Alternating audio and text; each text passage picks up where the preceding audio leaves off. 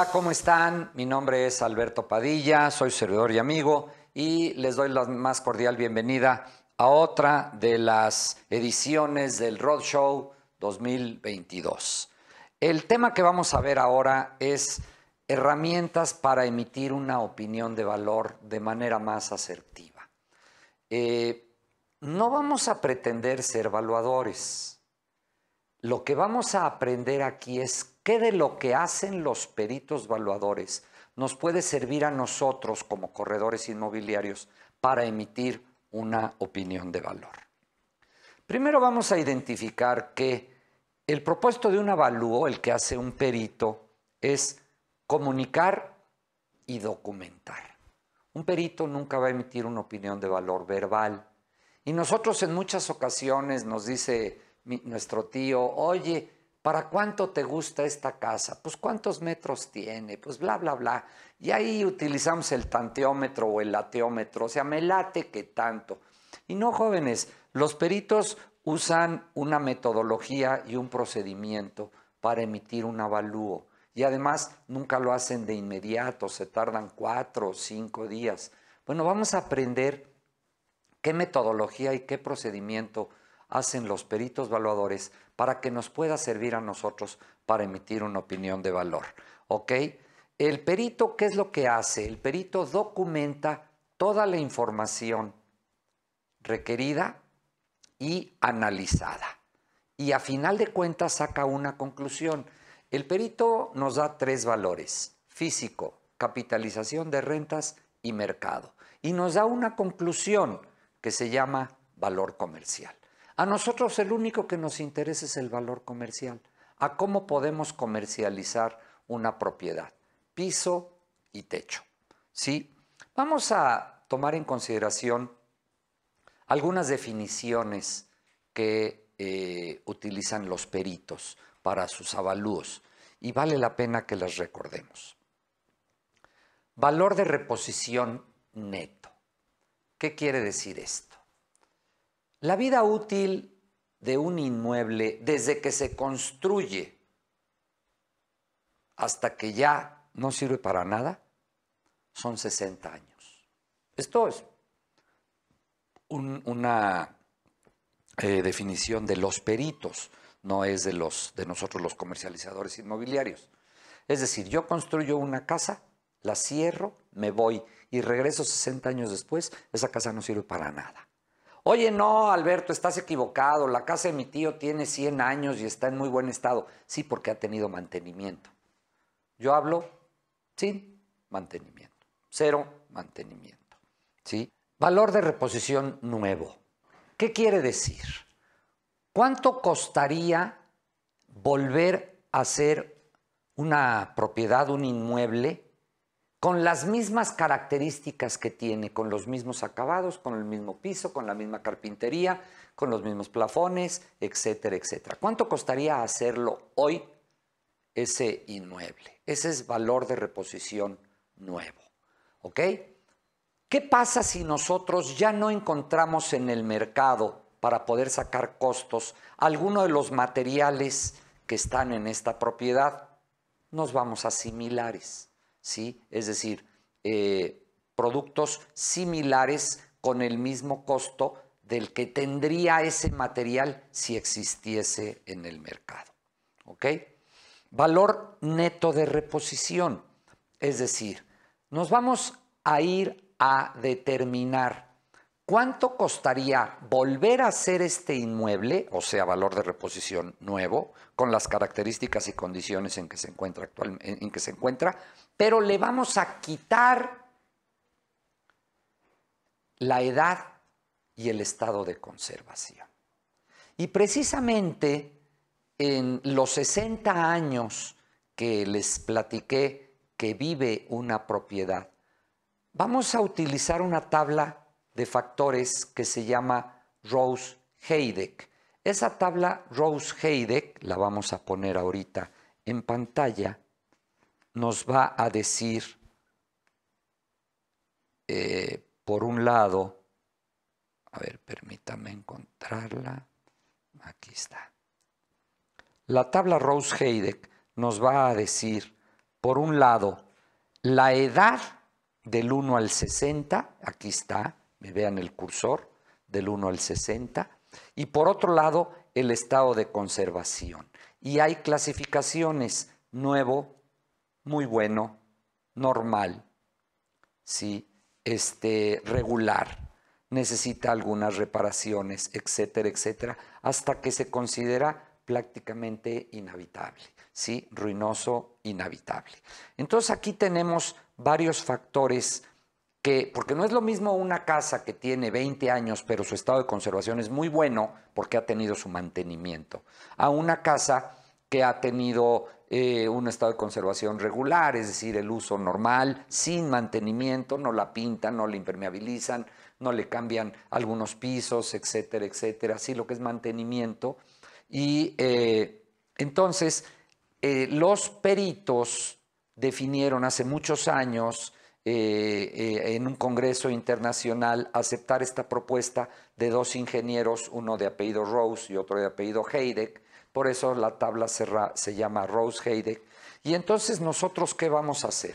Nosotros vamos a buscar cuál es el costo de reposición nuevo. Aquí tenemos una tabla, obviamente esta tabla es de costos de Guadalajara, una tabla de costos de construcción, donde nos va a decir cuánto costaría el metro cuadrado de construcción incluyendo indirectos. ¿Cuáles son los indirectos? El costo del despacho, la luz, la secretaria, etcétera, etcétera. Aquellos que no van directamente reflejados en la obra, que son materia prima, mano de obra. Y este, en algunos casos hay arquitectos que ponen como costos indirectos las licencias, los planos, los proyectos, pero en otros casos sí los ponen esos como directos, porque sí van directamente reflejados en esa obra en particular, porque esa obra tiene su propio proyecto, su propia licencia, etcétera, etcétera. Entonces aquí tenemos como ejemplo eh, eh, eh, interés social, 7.050 pesos, vámonos por ejemplo al medio superior, 13.500 pesos, 14.750 superior y el superlujo 21.300 pesos metro. Yo les recomiendo en su ciudad eh, consulten con arquitectos, con constructoras, cuánto costaría el metro cuadrado de construcción para una propiedad en las condiciones que ustedes están viendo, pero como si fuera nueva. Es decir, volverla a hacer con los mismos tipos de acabados que tiene esa propiedad. Y ahí nos daría el valor de reposición neto. Vamos a multiplicar el número de metros cuadrados por el costo de construcción por metro cuadrado y sacamos el valor de reposición neto. Y luego nos vamos a la tabla Rose-Heideck y vamos a suponer que nos salga, no sé, estoy suponiendo eh, dos millones de pesos eh, construir esa vivienda en el eh, con las condiciones que tiene de acabados y supongamos que esa, esa propiedad tiene, no sé, les voy a decir, 14 años y su estado de conservación es muy bueno, quiere decir que voy a multiplicar esos 2 millones de pesos de costo de construcción por punto 8561, que es el factor que dice muy bueno, pero 14 años de antigüedad. Fíjense ustedes cómo, por ejemplo, el, este, el estado de conservación, eh, la primera columna nos habla de, nuevo. Nuevo no quiere decir que lo acabo de terminar hoy. Nuevo quiere decir que no se ha usado. ¿Sí? No se ha usado. Entonces, ¿qué es lo que voy a hacer yo? Pues voy a, eh, puedo tener una casa nueva que no la haya vendido, que tiene dos años, y entonces eh, multiplico el costo de construcción de esa casa por los dos años, por el factor de dos años, que es punto 9828. Aquí está este factor. ¿Ok? El estado de conservación nuevo, mm, o sea, muy bueno, bueno, regular, y etcétera, etcétera. Así van bajando los, las, este, eh, los factores. Si nos vamos, por ejemplo, al estado de conservación nuevo, pero tiene 60 años, fíjense cómo el factor es cero, porque yo les dije hace rato que la, la vida útil de una propiedad es 60 años. Entonces, si la propiedad es nueva, porque nunca se ha usado, pero tiene 60 años, pues entonces estamos hablando de multiplicar el costo por cero. ¿Cuánto nos da? Cero, no vale nada. Ojo, no se me confundan. Estamos hablando solamente de las construcciones, no estamos hablando del terreno. entonces quedamos claros, la definición, eh, valor de reposición nuevo, cuánto nos costaría volver a hacer un inmueble con las características de acabados que tiene este inmueble. ¿sí? Y valor neto de reposición es el valor nuevo multiplicado por el factor de la edad y estado de conservación este, de ese inmueble y nos va a dar el valor neto de reposición. Valor de capitalización.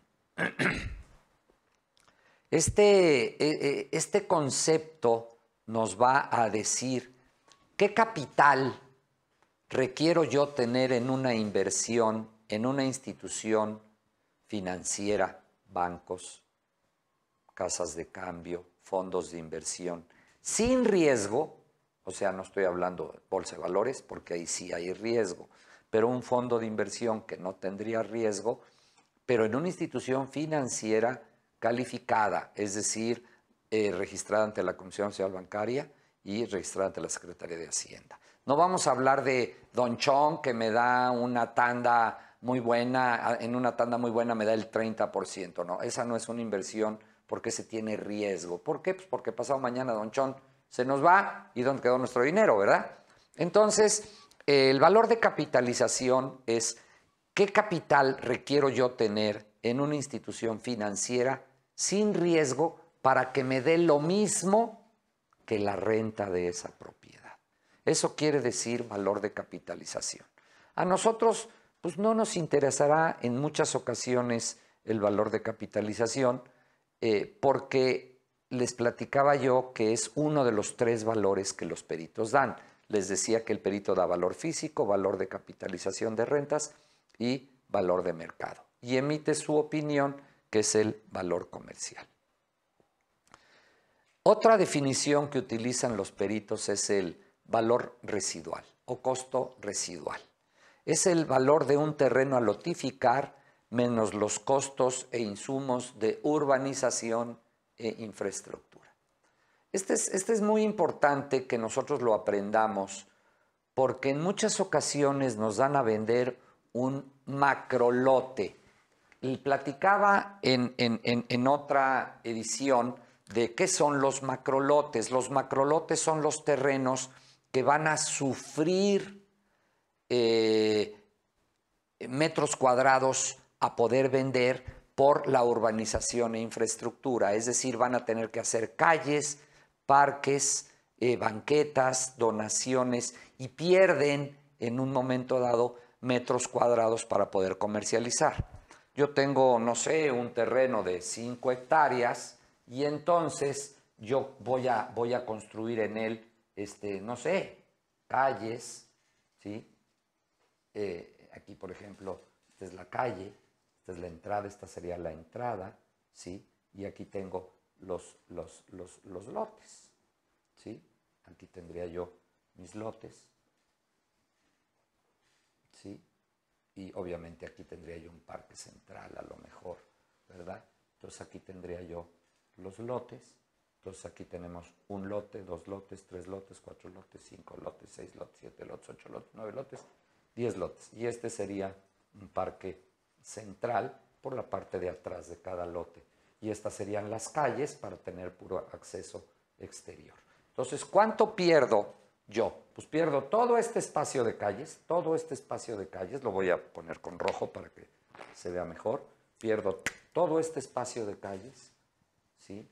Y pierdo, este, obviamente, banquetas y pierdo este parque, ¿sí? Ok.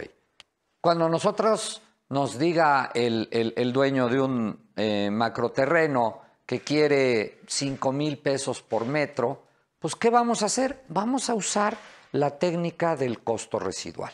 A ver, vamos a, a partir de una base. ¿Cuánto vamos a perder entre calles, banquetas, parques?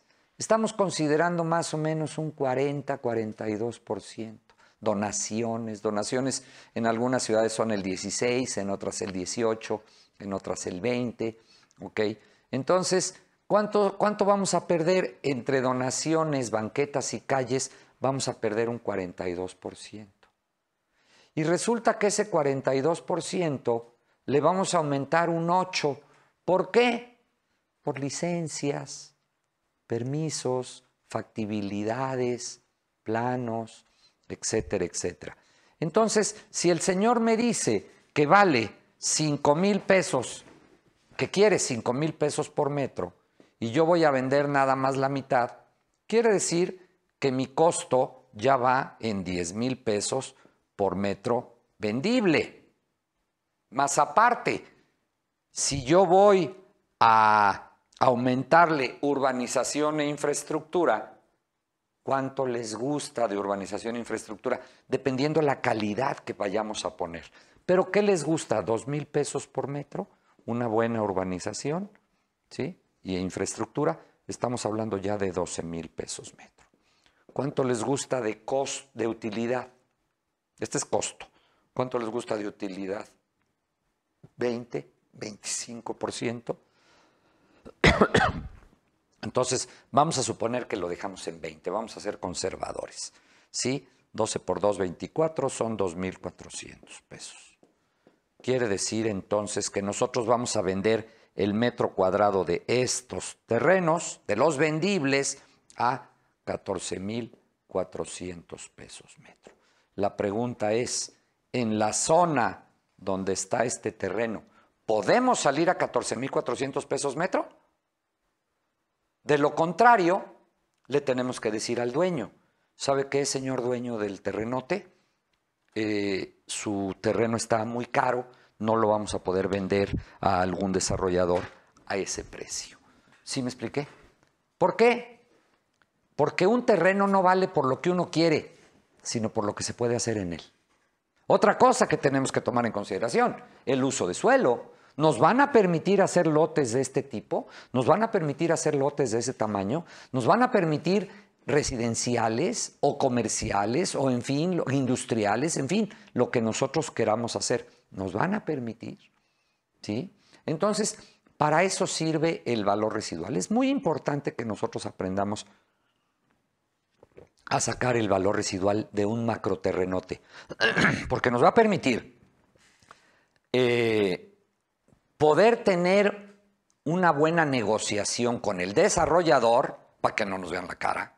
Porque hay desarrolladores que dicen, no, hombre, ¿qué te pasa? Te lo compro a 3 mil pesos metro.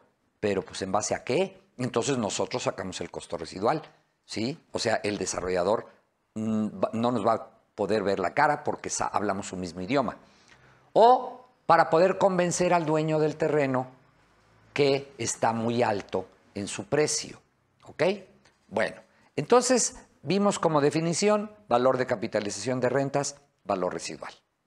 Vida útil. ¿Cuál es la vida útil de un inmueble? 60 años a partir de su construcción.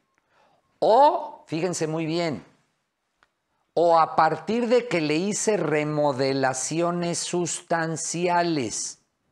¿Qué es una remodelación sustancial? Cambié pisos, cambié muros, cambié instalación hidráulica, cambié instalación eléctrica, cambié closets, cambié muebles de baño, cambié cocina. O sea, prácticamente dejé el puro cascarón. ¿Sí? Dejé básicamente la, la obra negra sin instalaciones. ¿Ok? Esa sería la vida útil. Entonces, si yo, por ejemplo, hago una recámara nueva o remodelé completamente una parte de la propiedad, la cocina, etc. Mi casa tiene, vamos a decir, 20 años, pero hace dos años hice la nueva recámara y la cocina completamente nueva, instalaciones, pisos, etcétera, etcétera. Entonces, instalaciones, hablo hidráulicas y eléctricas, ¿no? Este, y en el caso de baños, instalaciones hidráulicas eléctricas sanitarias. Eh, yo tendría que multiplicar por la tabla Rose-Heideck el valor de reposición nuevo por la tabla Rose-Heideck a 20 años, el total de la casa. Pero la nueva recámara que hice y la cocina, esas, esas áreas las sumo y las multiplico por la tabla Rose-Heideck de dos años. ¿Por qué? Porque hace dos años hice eso. Entonces, les digo, el valor, la vida útil son 60 años a partir de su construcción o a partir de la remodelación sustancial que haya tenido.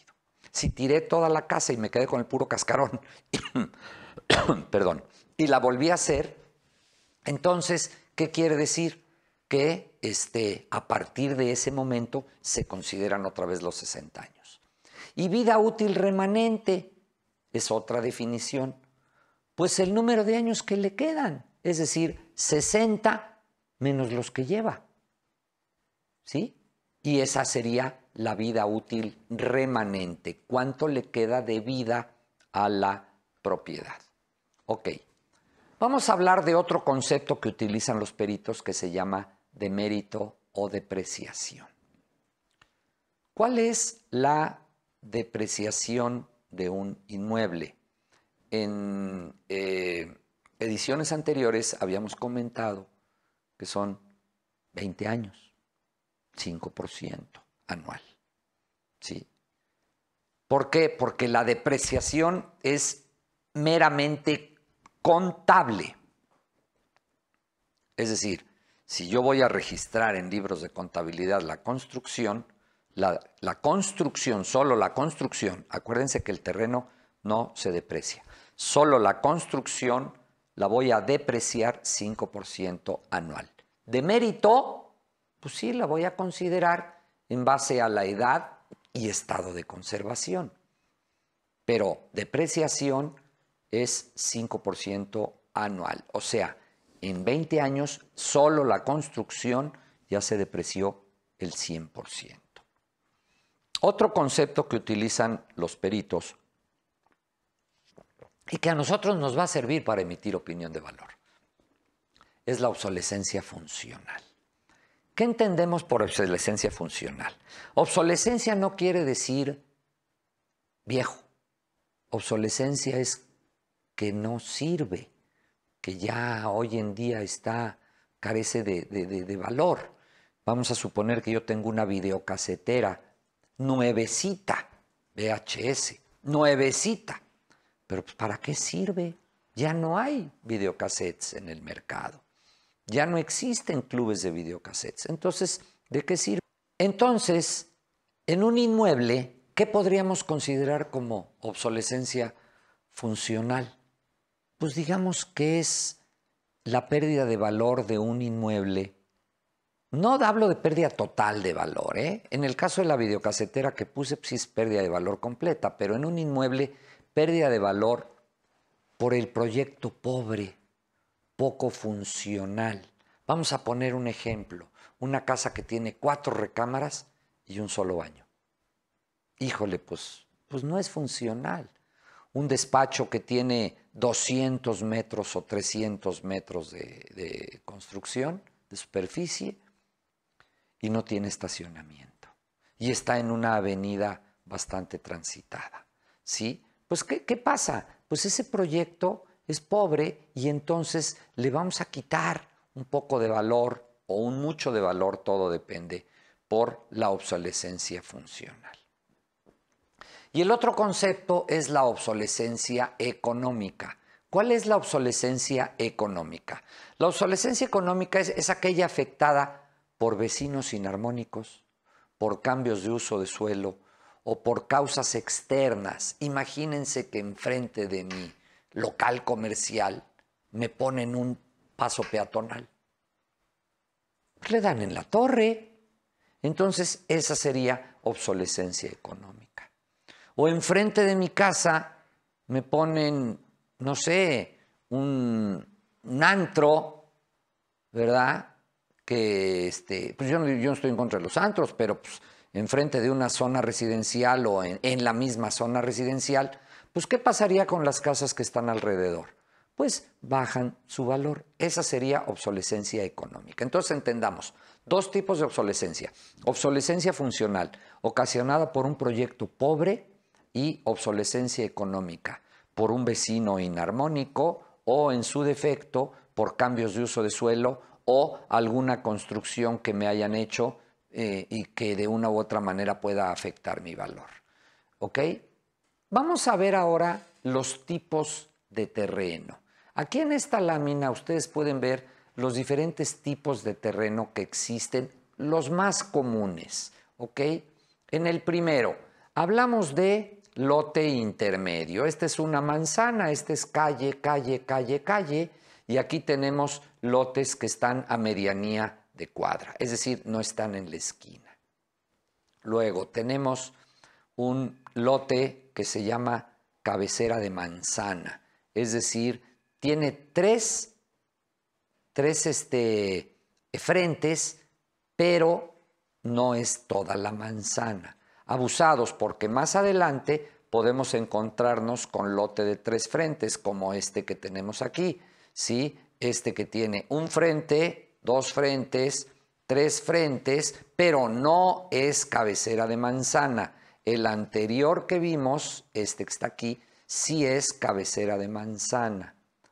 Hay una definición o un concepto que son muy claves que utilizan los peritos y a nosotros nos va a servir para emitir una opinión de valor, que es lote tipo y valor de calle. ¿Cuál es el lote tipo? Es el, el, el tamaño del lote que más abunda en la zona donde está el, el lote a evaluar. ¿sí? Y valor calle, ¿qué quiere decir? A cómo está el metro cuadrado en la zona donde está el lote a evaluar. ¿Ok? Tenemos lotes interiores, esta sería una callejuelita y aquí tenemos un lote interior. Obviamente en esta callejuela difícilmente entra un coche. Tenemos un lote de dos frentes que da hacia esta calle y hacia esta calle. También puede ser en escuadra, ¿verdad? Podría dar hacia esta calle, es decir, en L, ¿ok? Bueno, tenemos los lotes en esquina, ¿sí? Aquí está pues, claramente cuál es un lote en esquina. Tenemos el lote manzanero, que abarca toda la manzana, el lote, es decir, el terreno es toda la manzana. Lote de tres frentes, aquí tenemos, da a una calle, a otra calle y a otra calle. Manzanero con tres frentes, es decir, que abarca toda la manzana, pero son tres frentes. Aquí en Guadalajara, por ejemplo, tenemos calles diagonales que este, serían un frente, la esquina otro frente y la otra esquina el otro frente. O sea, en un triángulo sería la forma del lote. Los terrenos, eh, la forma ideal es forma regular. ¿Y a qué le llamamos forma regular? Rectangular. Normalmente lo ideal es frente por dos veces o dos veces y medio el frente. Si yo tengo 10, lo ideal sería 10 por 25. Hay algunos peritos que dicen que lo ideal es frente por tres frentes, o sea, 10 pensando que tuviera mi frente de 10 metros por 30. Ya no hay muchos de esos lotes, pero 10 por 25 sí pueden ser. Los lotes cuadrados, ¿sí? Que tienen el mismo fondo que frente, son muy difíciles para un arquitecto ¿sí? poder desarrollar un proyecto adecuado ahí. Sí puede, pero pues le es más, más difícil. ¿Ok? Nosotros vamos para poder determinar el valor del terreno a, a utilizar este, diferentes factores que utilizan los peritos, insisto, no nos interesa aprender lo que hace un perito, pero sí qué de lo que hace un perito nos puede servir a nosotros para emitir una opinión de valor.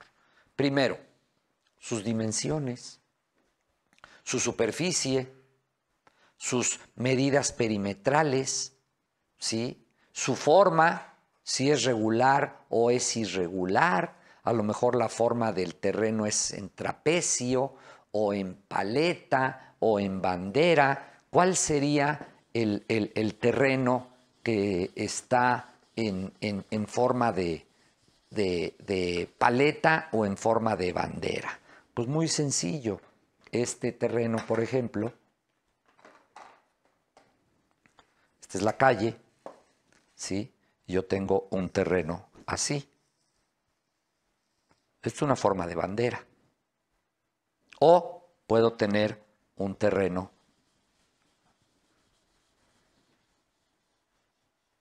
así.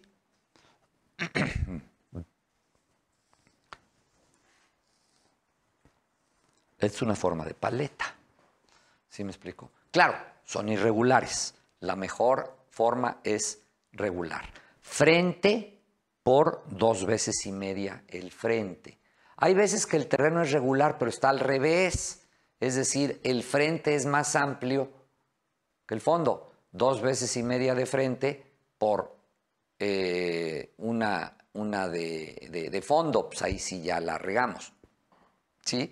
Lo ideal, insisto, es frente por dos veces y medio su frente, o tres, ojalá hubiera de tres. Eh, tienen que tomar en consideración mucho la orientación del terreno. Por ejemplo, aquí en Guadalajara la mejor orientación es norte-sur. Si el terreno es frente norte, sur, este, eh, frente norte y, la parte posterior del terreno sur es una excelente orientación. En la Ciudad de México, por ejemplo, la mejor orientación es oriente-poniente. Un terreno norte-sur es muy frío, oriente-poniente es la mejor orientación. Pero Guadalajara, que es una ciudad más calurosa que, que, este, que la Ciudad de México, pues eh, eh, si yo tengo un terreno oriente-poniente, sería la construcción demasiado caliente y entonces, ¿qué tengo yo que hacer? Pues meterle muchísimo más eh, acondicionamiento en la construcción, tanto en la fachada como en la contrafachada, o en un momento dado, pues instalaciones para meterle aire acondicionado y pues el costo de la luz pues, se, se eleva. ¿Por qué hablo de la Ciudad de México y de Guadalajara? Pues porque son las que tengo experiencia. Ustedes sabrán, este, Monterrey, eh, Cancún, Cuernavaca, cuáles serían los, los, eh, los, eh, las orientaciones ideales. Digo, a mí se me ocurre que en las ciudades muy calurosas, pues el norte-sur es, es la, la, este, la mejor orientación. Fíjense, yo digo norte-sur, después sur-norte, es decir, frente-sur y contrafachada sería norte yo le voy más al norte-sur que al sur-norte. ¿Por qué? Pues por la orientación de los rayos solares principalmente, ¿verdad? ¿Ok? Eh, otra manera de ver el, inmueble es este, eh, su topografía. ¿Está plano o está inclinado? ¿Sí? El subsuelo. ¿Qué hay en el subsuelo? Puro tepetate, qué increíble. Hay roca, luego, luego, pues está bien, pero hay veces que si vamos a levantar un edificio, pues el hecho de que tenga roca, pues a lo mejor nos va a costar bastante más trabajo meter este pilotaje, etcétera. Sí, este, sin embargo, eh, pues sus ingenieros eh, a la hora de hacer el estudio de mecánica de suelos, pues podrán determinar lo ideal en la zona. ¿sí? Eh, tenemos el subsuelo es virgen o es de relleno, es decir, hubo que dinamitar mucho y compactar. Este, a, qué, nivel está el agua, es decir, el nivel friático, ¿sí? este, eh, es de arcillas expansivas, porque todo lo que construya se va a mover muy fácil, entonces tengo que meter una cimentación mucho más costosa y esto me elevaría el valor del terreno. El índice de saturación, ¿qué quiere decir índice de saturación? En la zona cuántos lotes todavía quedan libres. Por ejemplo, aquí en Guadalajara, Providencia, pues el índice de saturación es 100%, porque ya no quedan lotes. Sí quedan lotes baldíos, pero que ya tuvieron un dueño original, pero ya se vendió todo Providencia y prácticamente el índice de saturación es 100%. Monraz, pues estamos hablando de 95% probablemente. Las cañadas, pues el índice de saturación es de un 60-70%, porque todavía quedan muchos lotes. Y así en la ciudad donde ustedes estén, el índice de saturación ya se vendió toda y ya se construyó toda la zona, pues estamos hablando de que sería el 100%, 95, 90, según el caso. Si es un fraccionamiento nuevo, pues el índice de saturación será muy bajo, 5, 10, 15, 20, conforme se vaya construyendo las viviendas o los locales o las naves industriales en ese fraccionamiento. ¿Ok? Bueno. ¿Cómo vamos a considerar esos factores de influencia? Bueno, fíjense muy bien. Lo que hace un perito dice, bueno, a ver, yo voy a considerar el valor de esquina, ¿sí? Perdón, el factor de esquina lo voy a considerar, esta es una manzana y aquí está el terreno. Lo voy a considerar más caro. ¿Por qué? Porque el factor de esquina me indica que un terreno en esquina debe de ser más caro. Pero voy a considerar todo el terreno más caro. Si el terreno es muy grande, solamente voy a considerar este 15 metros por lado o 20 metros por lado si es comercial. ¿sí? Es decir, le voy a aumentar al, al frente de cada uno 15 metros si es habitacional o 20 metros si es comercial. Y si el terreno es mucho más grande, no voy yo a vender todo el terrenote con el 15 o 20% de valor, solamente lo que me dé el, el lote tipo contra el excedente. ¿Sí me voy explicando? Y debemos de tomar en consideración. Esto es lo que, lo que platican los peritos, pero vamos a analizar los otros, nosotros. Yo voy a vender un terreno en esquina. Lo voy a vender más caro por estar en esquina. ¿Seguro? Y si en el fraccionamiento donde yo estoy resulta que hay una restricción de construcción frontal, o sea, me hacen a mí meterme mi construcción, no puedo construir sino 5 metros este, eh, de adentro del terreno, o sea, me tengo que meter 5 metros y ahí puedo empezar mi construcción, y, mi terreno está en esquina. ¿Cuál es mi frente? Pues mi frente es este y mi frente es este. Por lo tanto, a mí me están restringiendo dos veces mi terreno, porque solo voy a poder construir aquí. Y en cambio, si yo tengo un terreno a medianía de cuadra, solamente me restringen aquí. Entonces mi, mi, construcción obviamente va a ser más grande que el de la esquina. ¿Sí me explicó? Siempre tomar en consideración el lote tipo. ¿Estamos de acuerdo? Entonces, hay veces que la esquina no necesariamente la vamos a vender más cara. ¿Estamos de acuerdo? ¿Ok?